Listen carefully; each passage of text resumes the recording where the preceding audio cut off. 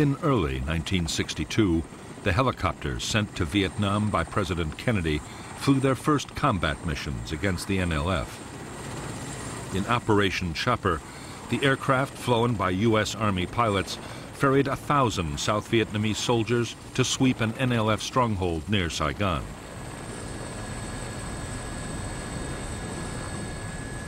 It was the beginning of a whole new phase of the conflict.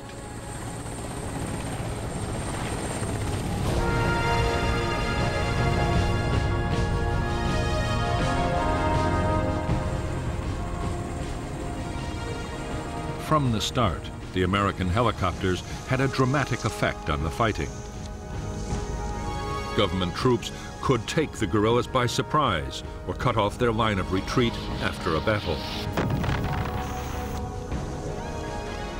Often they panicked and were killed as they tried to escape.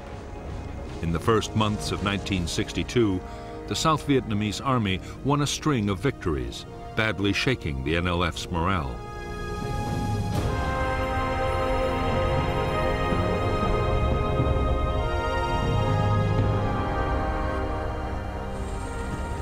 Using helicopters for offensive operations called for a whole new set of tactics. It was a complex business in which helicopter forces and ground units had to be strictly coordinated. But the aim was simple. The enemy had to be found, fixed in position, and then defeated. Government troops called it spear and net. Later, it would become known as search and destroy.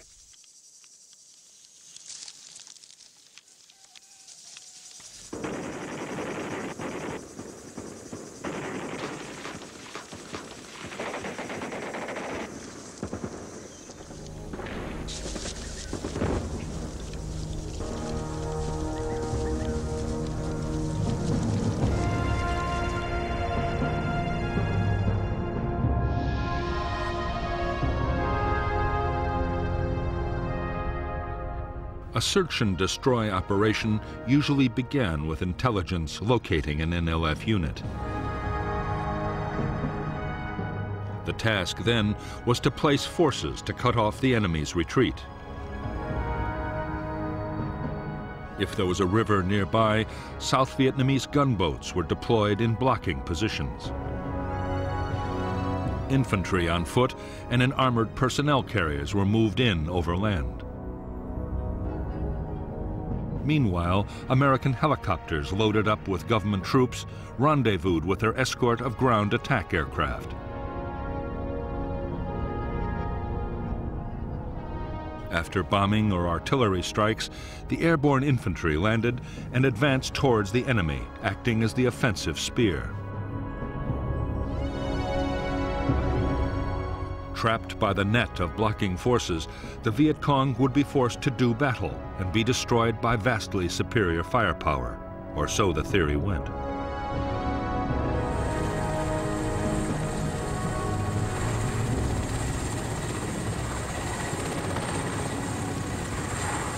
The instant success of helicopter operations seemed to prove that the approach favored by the Americans was the right one. What U.S. advisers wanted now was more and bigger offensive operations.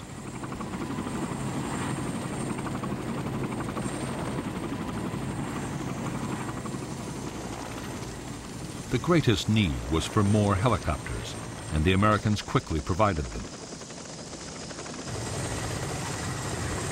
A series of government victories followed, and soon it looked as if the South Vietnamese army might, in the not-too-distant future, actually defeat the guerrillas.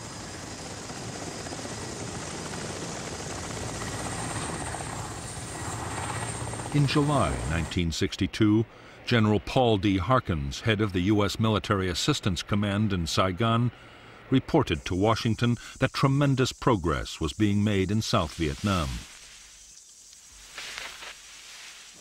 It was just what President Kennedy wanted to hear. And in the White House, there was a deep sense of relief.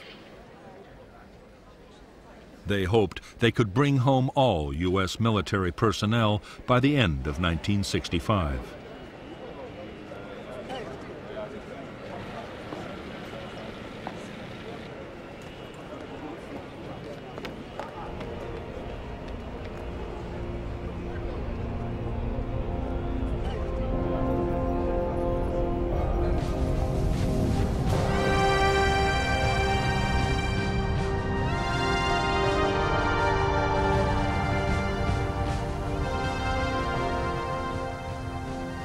To Ho Chi Minh and the leaders of North Vietnam, the big increase in American military support for the South was deeply troubling. Did the U.S. mean to put in combat troops? Or perhaps even invade the North itself?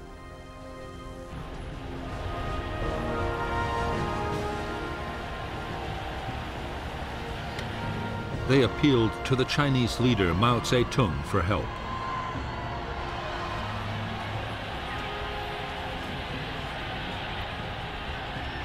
Mao was anxious to be seen as the champion of liberation movements around the world.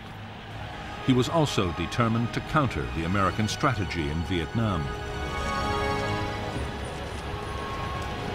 In the summer of 1962, the Chinese leader promised Ho Chi Minh substantial support for the guerrilla war against the southern government. Right away, North Vietnam would get 90,000 extra rifles for the Viet Cong.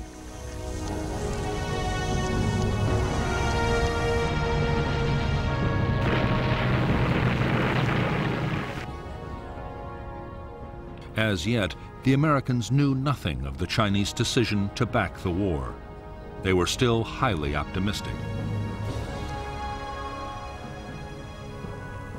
Although the NLF were not being beaten on the battlefield and had managed to hit over 2,500 hamlets in 1962 alone, pacification programs designed to increase government control over the countryside promised real progress in the villages.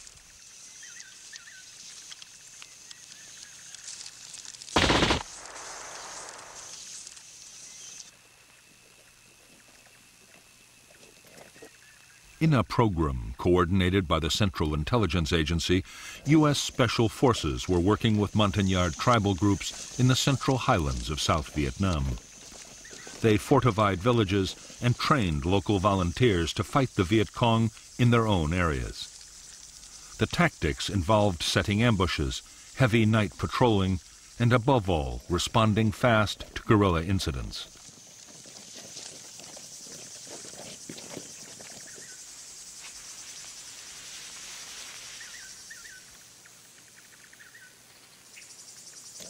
The civilian irregular defense forces created by the American teams were highly effective. The NLF found it increasingly difficult to organize openly amongst the population.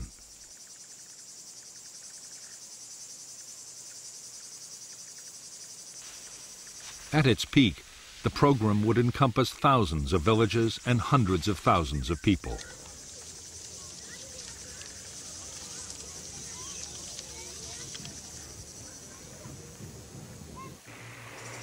While the effort in the highlands was entirely an American initiative, further south the Saigon government had embarked on its own pacification program.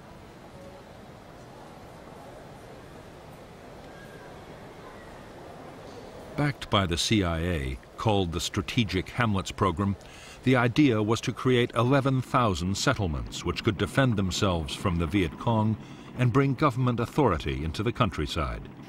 The campaign was a disaster from the start.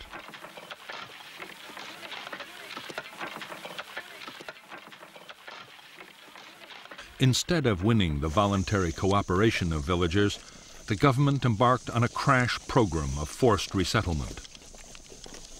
Families were moved, sometimes at gunpoint, from their traditional lands and the burial grounds of their ancestors. Funds promised for development were embezzled by corrupt officials.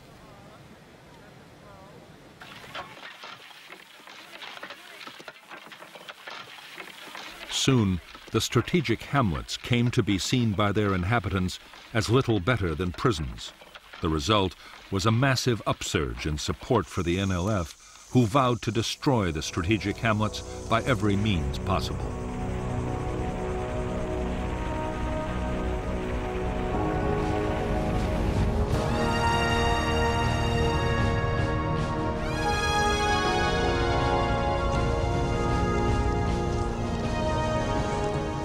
From the first introduction of American helicopters into South Vietnam, NLF tacticians had worked feverishly to develop ways of dealing with the threat.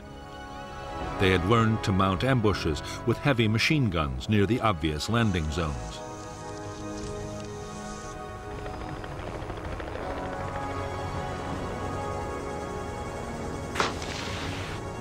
They also practiced breaking up their larger units at high speed and melting into the forests or swamps at the first sign of an enemy sweep.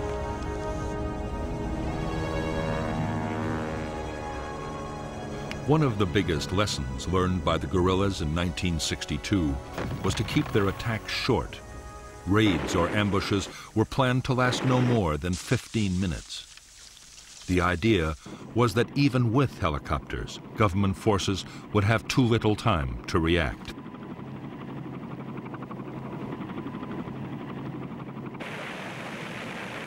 Slowly, by using their new tactics, the Viet Cong had recovered their confidence. So much so that by the start of 1963, they were able to inflict a shattering defeat on a South Vietnamese Army air mobile operation.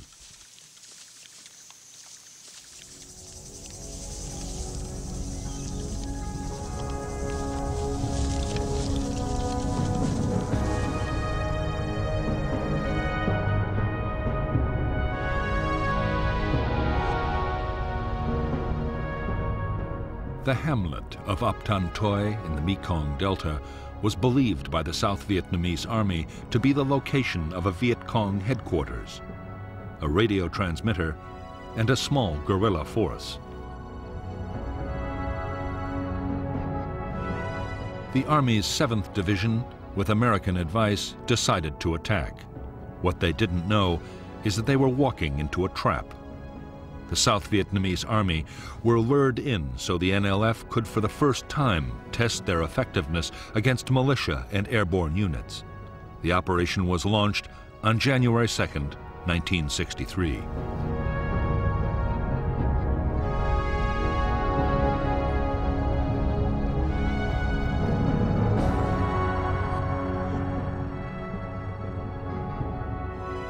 The neighboring hamlets of Ap Tan Thoi and Ap Bac were strung out along a raised dike and an irrigation canal. In the tree line was deployed the whole Viet Cong 514th Battalion, reinforced by local guerrillas, altogether nearly 350 men.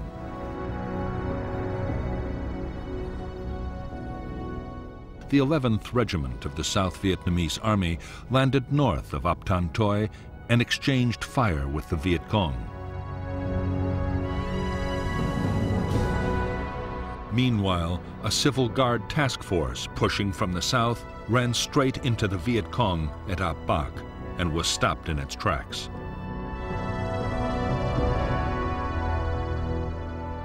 Air and artillery strikes were directed at both hamlets but the Viet Cong were well dug in.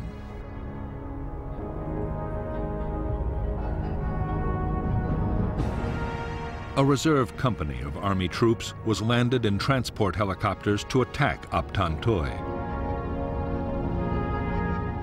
Fire from Ap Bac destroyed five aircraft. Next, a company of armored personnel carriers made a disorganized assault on Ap Bac but was driven off with heavy losses.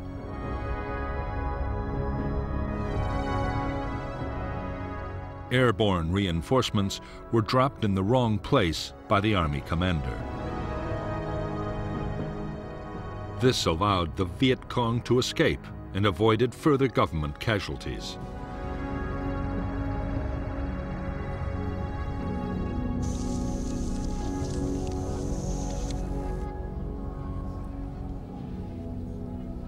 For the Viet Cong, the Battle of Ap Bac was a stunning victory.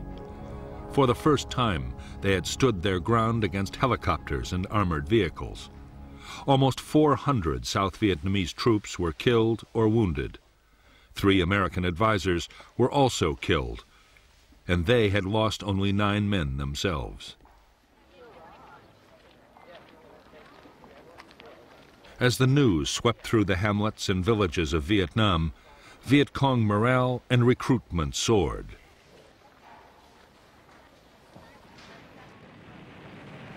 After Ap Bac, the guerrillas sharply accelerated the tempo of their operations. Attacks on strategic hamlets were launched almost every day, and hundreds were overrun. The guerrillas hit isolated government forts, tempting sources of arms and radios. Usually, they set ambushes for any army troops that might be sent to the rescue.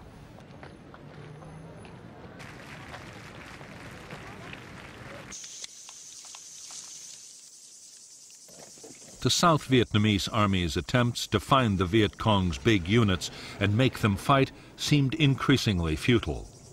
One major sweep after another failed to find the guerrillas in any numbers.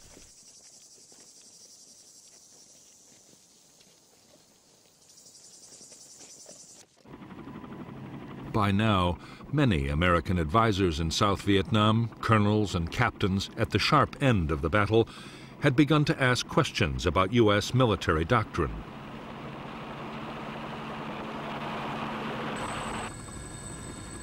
They were training the South Vietnamese to depend on big operations and very heavy firepower. As a result, large numbers of civilians were being killed, which could only increase support for the NLF. And in spite of everything, the guerrillas were usually escaping the net.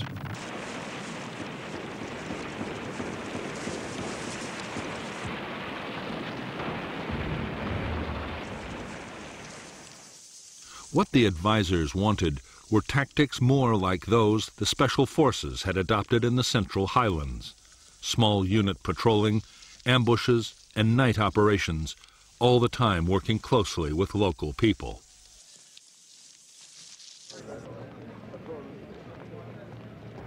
In Washington, the suggestion met with some hostility.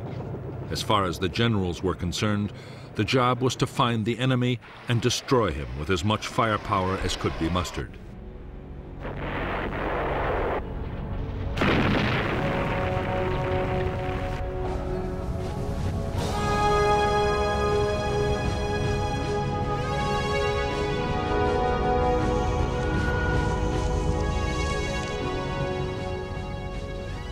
For years, President Diem had filled the ranks of South Vietnam's government officials with fellow Catholics, enraging the majority Buddhist population. From the beginning of May 1963, there were widespread protests. Diem reacted violently. The army raided temples. Monks, nuns, and priests were arrested and demonstrators were shot in the streets by police.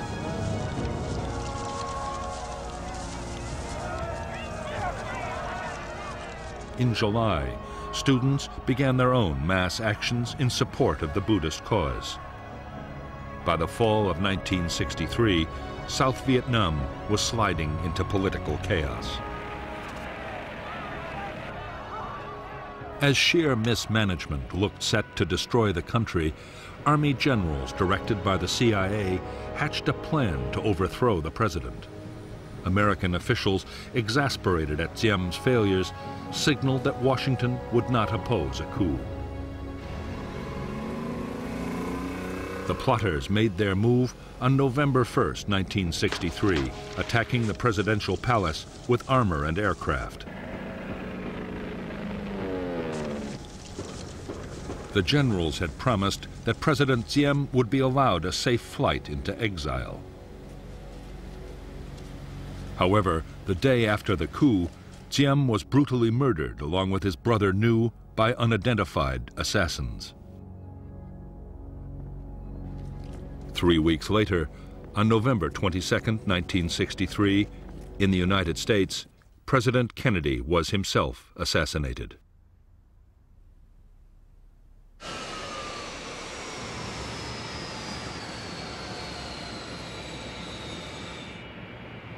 Kennedy's place was taken by his vice president, Lyndon Baines Johnson.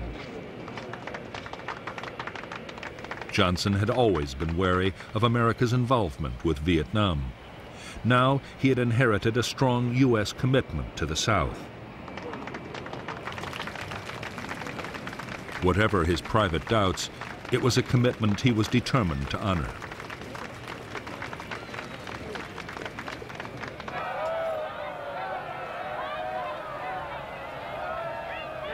The chaos that had engulfed South Vietnam in the closing months of 1963 was seen in North Vietnam as a golden opportunity.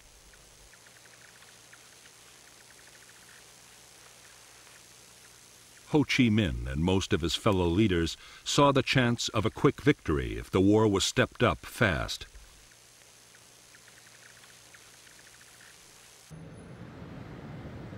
Amongst the North's communist backers, the Soviet Union was opposed to any escalation. But the Chinese leader Mao Zedong had promised his support. If the Americans reacted by invading North Vietnam, China would even deploy combat troops to help the defense.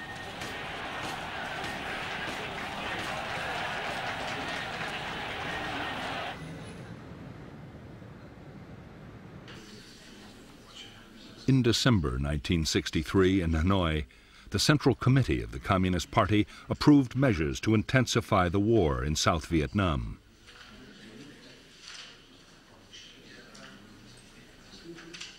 General Giap, the defense minister, had argued for caution, but most of the leadership was against him. The order was given to speed up the flow of men and weapons to the NLF in the south.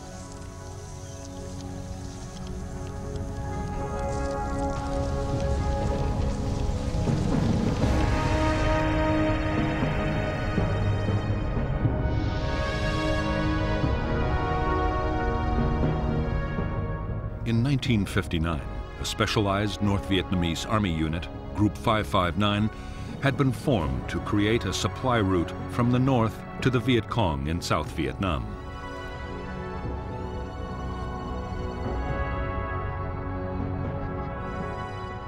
Jungle trails inside the south had proved too vulnerable to government army sweeps, and so, helped by their allies, the Pathet Lao guerrillas in Laos, and with the tacit approval of Prince Sihanouk of Cambodia, Group 559 had taken over the border areas just outside South Vietnam.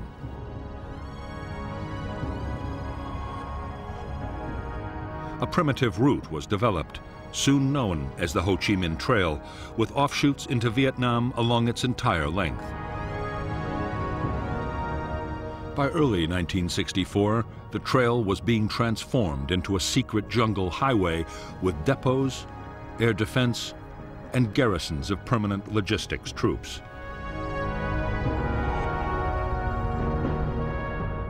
Meanwhile, another unit, Group 579, controlled the infiltration of men and weapons into South Vietnam by sea.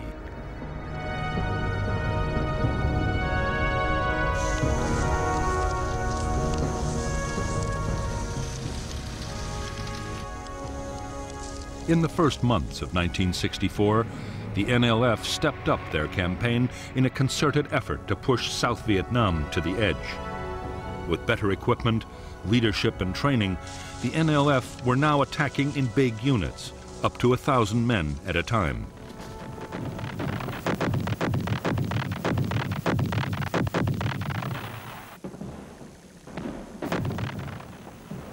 As the guerrillas sensed victory and piled on the pressure, on January 30th there was yet another military coup in Saigon. The U.S. Defense Secretary, Robert McNamara, was dispatched to Vietnam to boost the authority of the new leader, General Nguyen Khanh. Yet few American officials imagined Khanh could soon win popular support or rally the demoralized South Vietnamese army.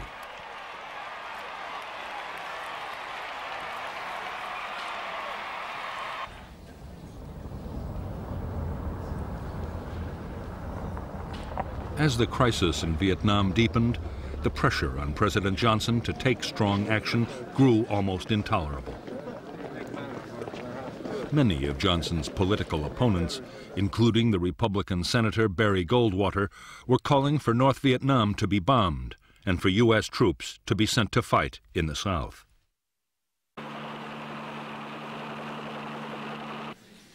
The Joint Chiefs of Staff were also insisting that decisive military action would have to be taken to pressure Hanoi.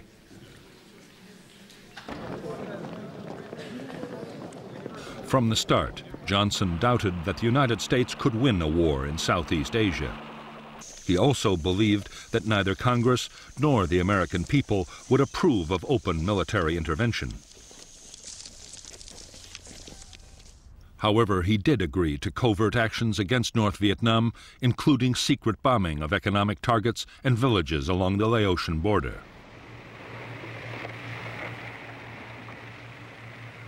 With support from American warships, the South Vietnamese Navy began a series of commando raids on North Vietnamese coastal installations.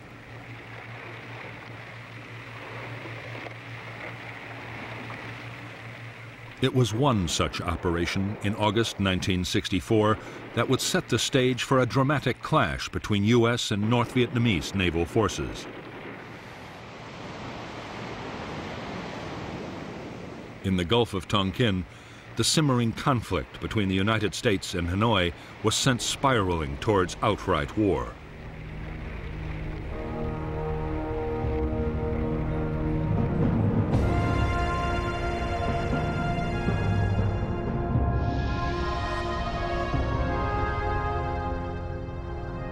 On the night of 30th July 1964, South Vietnamese commandos attacked two small North Vietnamese islands in the Gulf of Tonkin.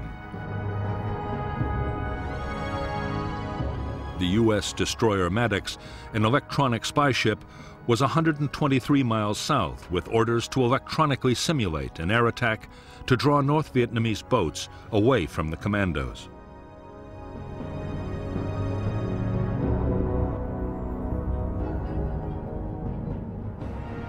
On August 2nd, three North Vietnamese torpedo boats approached the Maddox at high speed, mistaking it for a South Vietnamese escort vessel.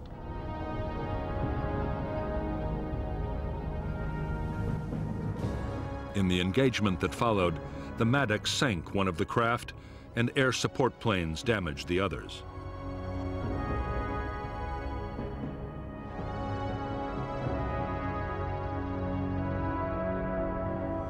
Maddox continued operations, reinforced by a second destroyer, the USS Turner Joy. Two nights later, still gathering intelligence and in bad weather conditions, the captain of the Maddox reported that he thought they had been fired on and were about to be attacked. As he later reported, no attack took place.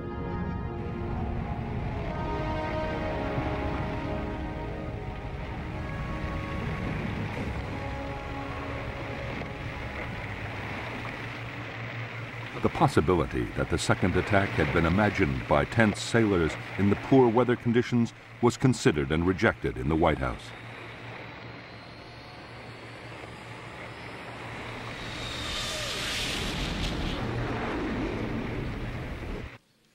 Six hours after the supposed attack, a retaliation against North Vietnam was ordered by President Johnson. American jets bombed two naval bases. A major oil facility was also destroyed. Two U.S. aircraft were lost in the raids.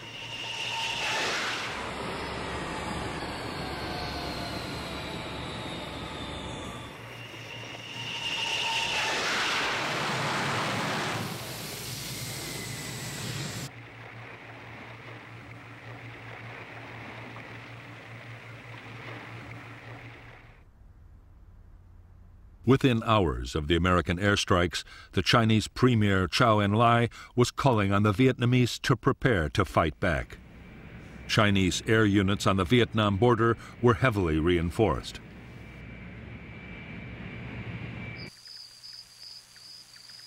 Frantic efforts were made to improve North Vietnam's anti-aircraft defenses. At the same time, jets of the fledgling North Vietnamese Air Force returned to Vietnam from their training base in China.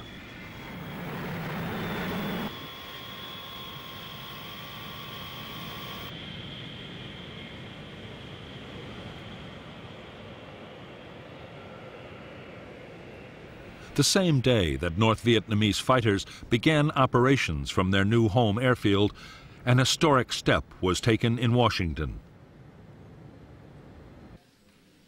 On August 7, 1964, the U.S. Congress passed the Tonkin Gulf Resolution. It gave President Johnson the freedom to take whatever actions he thought necessary to defend Southeast Asia. Johnson now had the power to use military force in Vietnam in almost any way he chose.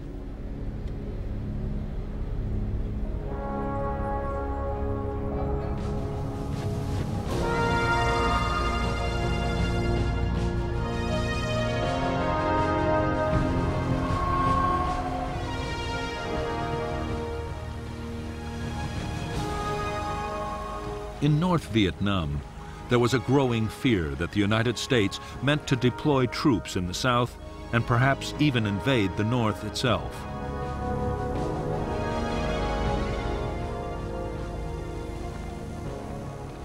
The U.S. might also decide to bomb North Vietnam into the ground. Communist leaders could only hope that fear of China would make the enemy hesitate before taking any drastic steps.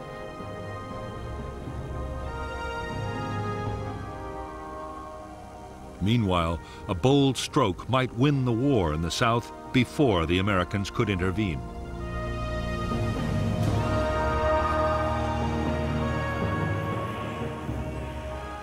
The plan was that the North Vietnamese army should be sent to fight in the South. Supplying them would be no easy task, but their well-trained and heavily armed regiments just might tip the balance. The aim was to topple the weakened South Vietnamese state within little more than a year.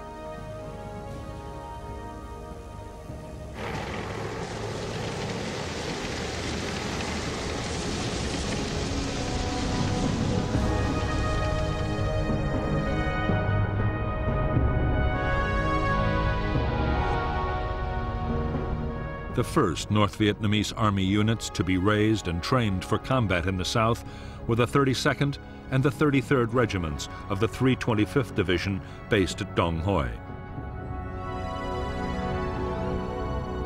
The 66th Regiment of the 304th would follow next.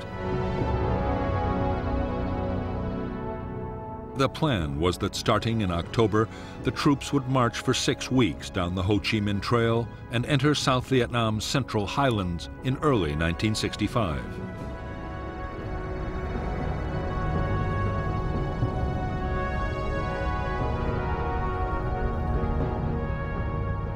The first step would be to seize territory in the border area.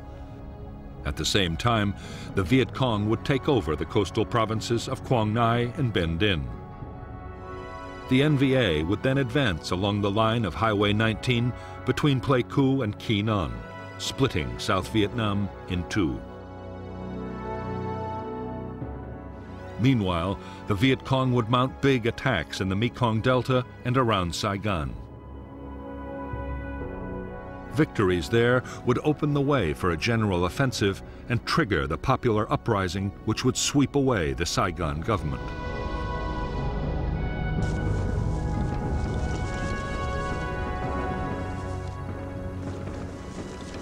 While the North Vietnamese army prepared its divisions for infiltration into the south, the NLF stepped up their campaign.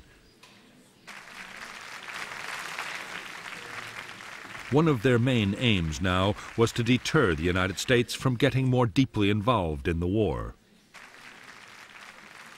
With the U.S. presidential election coming up, reminding Americans that intervention had a price just might pay dividends.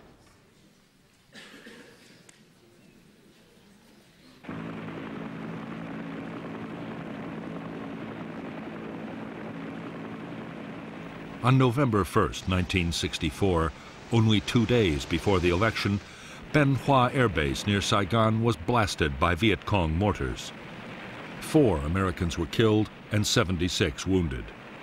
Five B-57 bombers were destroyed and 15 damaged. Although the attack seemed a blatant provocation, President Johnson was determined not to react in a way that might endanger his election chances. His restraint seemed to have paid off handsomely when, on November 3, 1964, he resoundingly defeated his rival, Barry Goldwater.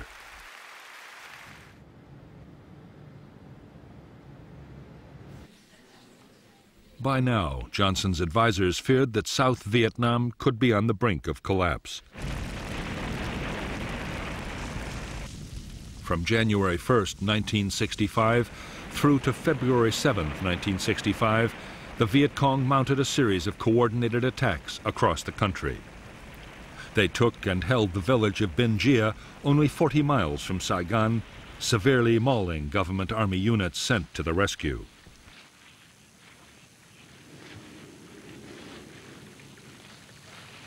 Altogether, 200 government troops were killed near Binh Gia, along with five American advisers.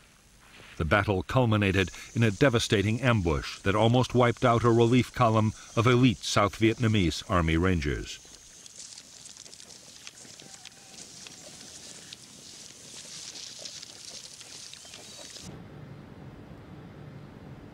In Washington, the pressure to do something to save South Vietnam was now intense. Although Johnson doubted that bombing North Vietnam could dissuade it from supporting the Viet Cong guerrillas, he agreed to let military planners prepare a major campaign. Meanwhile, a series of strikes would be launched as reprisals if there was any major attack by the Viet Cong.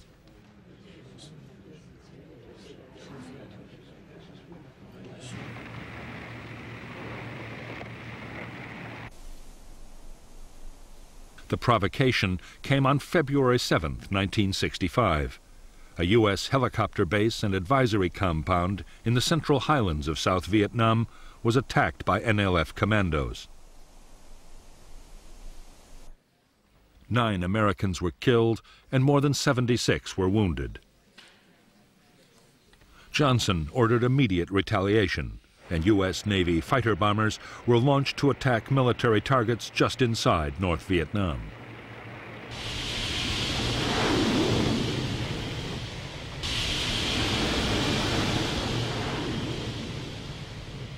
Only three days after the U.S. raids, there was another attack by the Viet Cong on Americans. This time, it was a bomb in a hotel at Non, which killed 23 U.S. servicemen. More retaliation strikes were launched, and on February 13, 1965, President Johnson authorized a bigger campaign, codenamed Operation Rolling Thunder.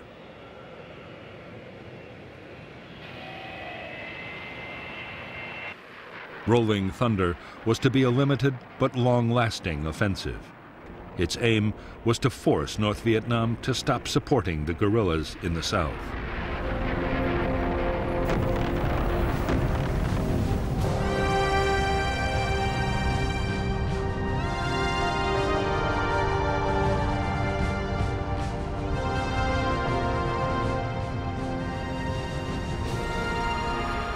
As Operation Rolling Thunder got underway, the chief of the U.S. Military Assistance Command in Saigon, General William C. Westmoreland, grew increasingly worried about the security of bases involved in the campaign.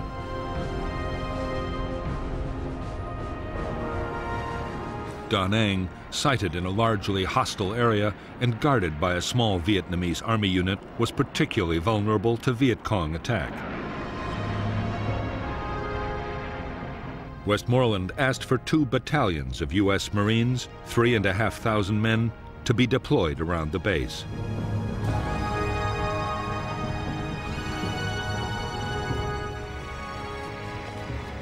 On March 8, 1965, a battalion of the 9th Marine Expeditionary Brigade went ashore at Da Nang.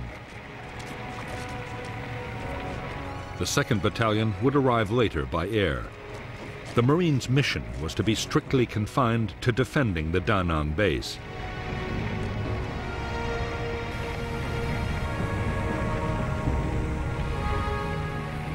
However, even as the troops were landing, General Harold K. Johnson, the Army Chief of Staff, was already in Saigon to talk about much bigger deployments.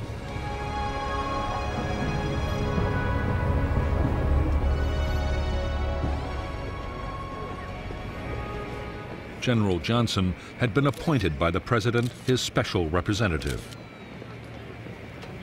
His mission was to prompt General Westmoreland and U.S. Ambassador Maxwell Taylor to say what troops they needed to win the war.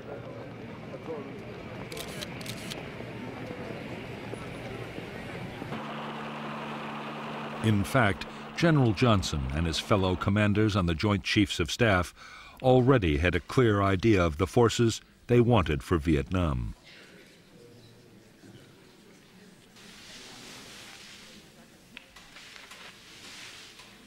The Joint Chiefs' wish was for three divisions, around 70,000 men. That was the number called for in their defense plan for Southeast Asia, Operation Plan 32. The plan had been designed to meet an invasion of South Vietnam from the north or China, something that no one now expected to happen.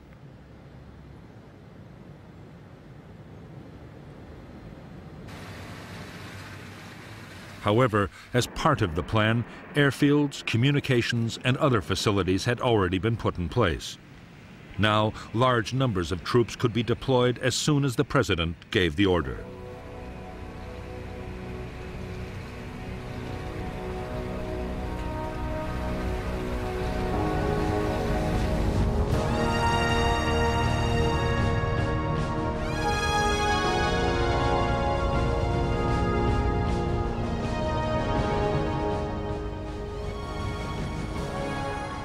Was American public opinion that most worried President Johnson.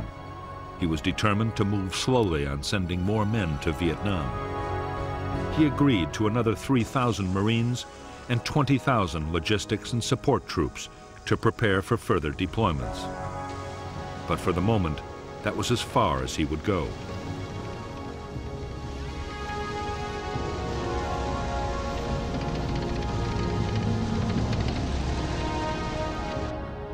On April 7, 1965, at Johns Hopkins University, President Johnson offered economic aid to North Vietnam in exchange for peace.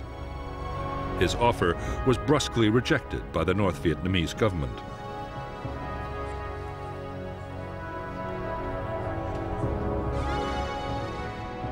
Two weeks later, Johnson agreed to raise U.S. combat strength in Vietnam to more than 60,000 troops.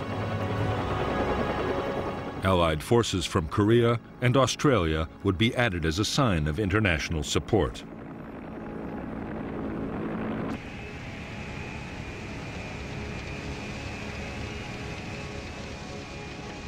There were restrictions on how the U.S. commander in Vietnam, General Westmoreland, would be able to use the troops he had been given.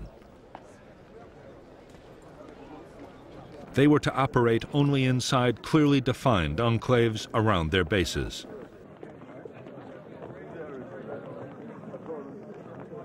To Westmoreland's dismay, all operations were to be strictly defensive.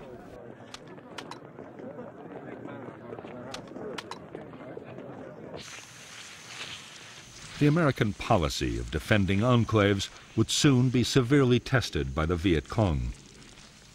The guerrillas were planning to unleash a massive offensive. The campaign was designed to inflict the final blows on the tottering South Vietnamese state.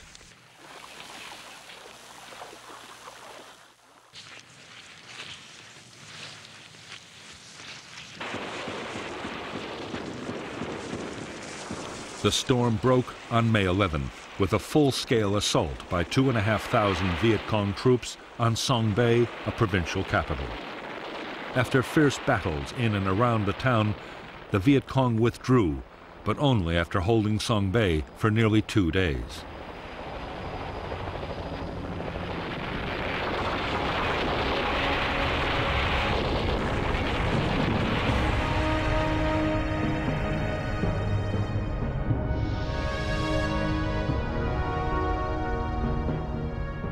The Viet Cong assault on Song Be was followed by a series of attacks to within a few miles of Saigon.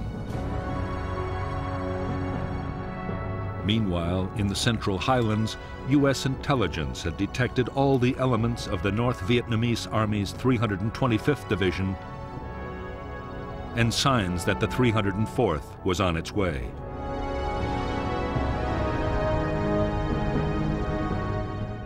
There was intense Viet Cong activity in all the central provinces, with a big Viet Cong victory near Ba Gia. On June 10, 1965, at Dong Xoai, a South Vietnamese Army district headquarters and U.S. Special Forces camp was overrun by a full regiment. It was abandoned only after frantic American air attacks.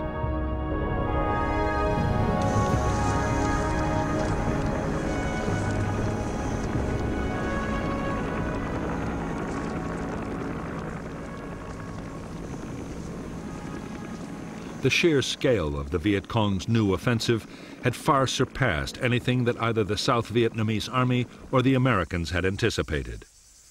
The government's best and most mobile battalions had been shattered.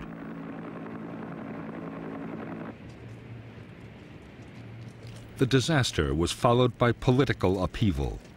A faction of young military officers installed Air Vice Marshal Ky as prime minister and General Nguyen Van Thieu as president openly restoring military government.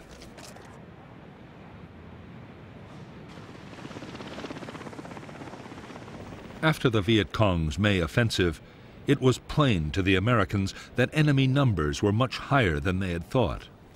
That meant far more U.S. troops would be needed to hold the line.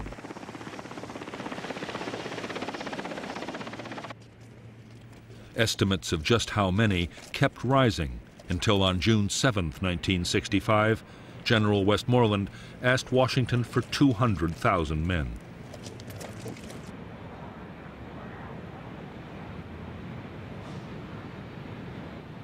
While Westmoreland was waiting for the president's decision, he was given new powers to use the troops he already had more aggressively. He would no longer have to confine his men to defensive enclaves, but could go out and attack the enemy.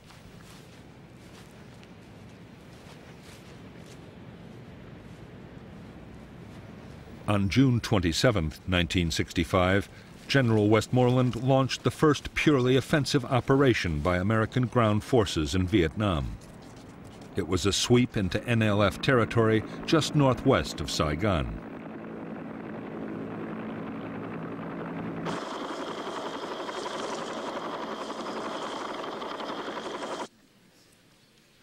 A month after the start of offensive operations, President Johnson announced that more troops would be sent to Vietnam.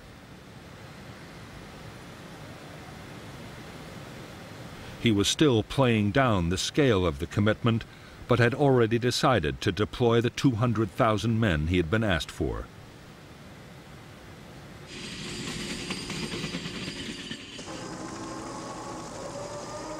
The following day, the first troops of the big buildup arrived in Vietnam. The men were a battalion of the 101st Airborne Division. By this time, there was no longer any doubt about just what their mission would be. They were to find the Viet Cong's main force military units and destroy them on the battlefield.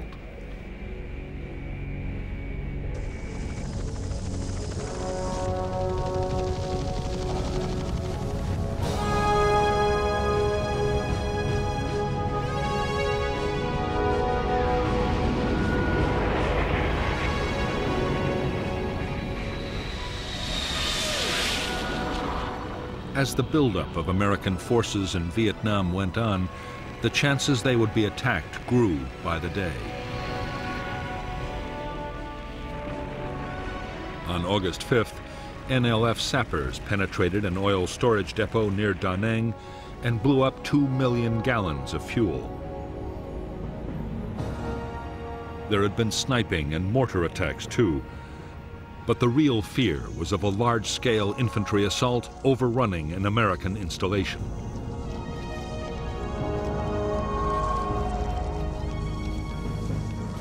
What the Americans needed was accurate and timely intelligence about what the enemy intended to do.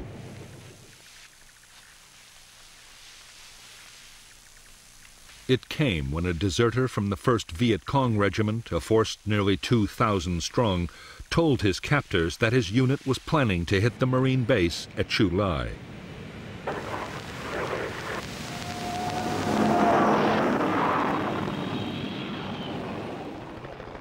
The Marines quickly planned a full-scale operation to trap the Viet Cong Regiment in its assembly area. The operation was planned in the strictest secrecy. Codenamed Operation Starlight and deploying 4,000 troops, it would be the first American regimental-sized battle since the war in Korea.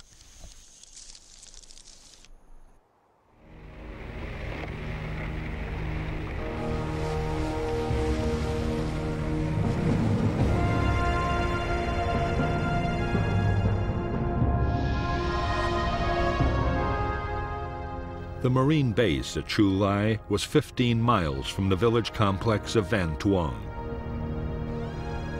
Between the Tra Bong River, the elevation known as Hill 43, and the Phuoc Thuan Peninsula was a fortified Viet Cong base area. There, the 1st Viet Cong Regiment, made up of the 60th and 80th Battalions, had assembled for the attack on Chu Lai.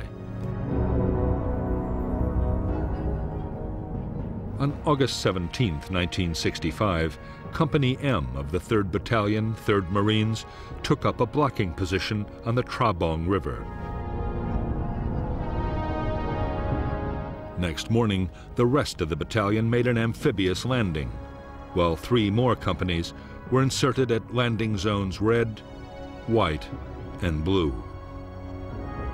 The Marines pushed on from LZ's red and white but around Hill 43 near LZ Blue, the entire Viet Cong 60th Battalion was dug in, and there was a fierce battle before the hill was taken.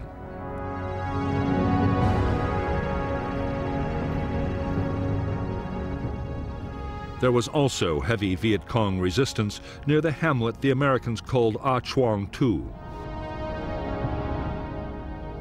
But after reinforcement, the Marines succeeded in squeezing the Viet Cong from three sides, trapping them with their backs to the sea.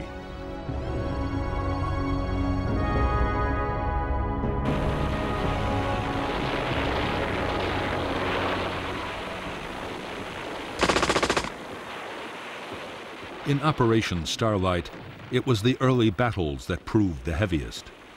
The first two companies in action took almost one-third casualties. 29 were dead and many wounded, but the Marines had claimed nearly 300 Viet Cong killed.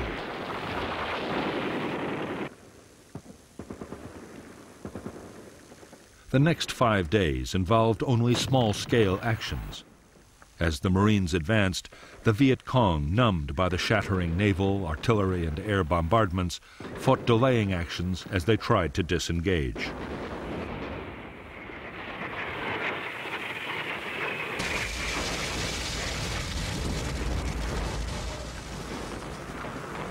In support of the attacking infantry, Marine guns at the Chu Lai base alone fired over 3,000 rounds.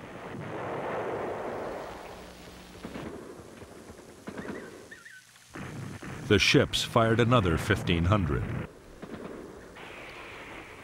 Marine air support was so effective that at times aircraft were dropping their bombs within 200 feet of their own troops.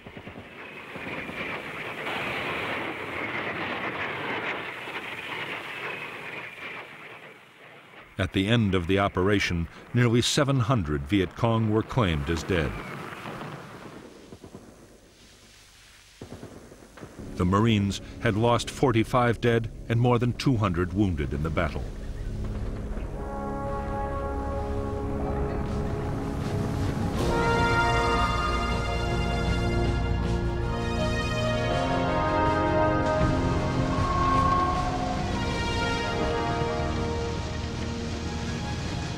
The United States Marines, Operation Starlight had been a resounding victory.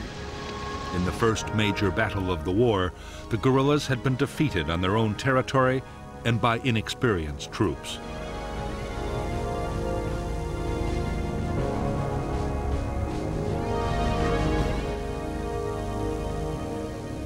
The classic U.S. military doctrine had worked exactly as it was supposed to. The enemy had been found, fixed in position, and then destroyed with massive firepower.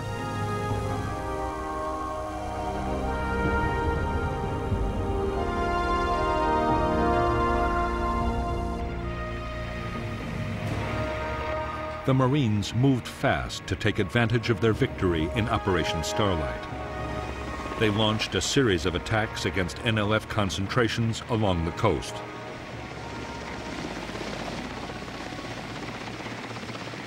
Meanwhile, General Westmoreland's attention shifted to the central highlands. There, the threat was posed not by the Viet Cong guerrillas, but by the newly arrived troops of the North Vietnamese Army.